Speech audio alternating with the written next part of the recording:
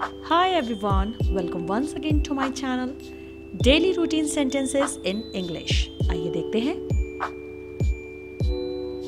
इसे तुम कहाँ से लाए Where did you get it from? तुमने इंजेक्शन किससे लगवाया Who did you get the injection from? इसे कहीं रख दो Put it somewhere. उसने किससे ये काम करवाया? Who did he get this work done बस हो गया तुम्हारा? Are you done with that ये वहाँ से बनवा लाओ। Get this made from there उससे ये मत करवाओ। Don't make him do this and the last one इसे भी चॉकलेट दिलवा दो। Get him chocolate to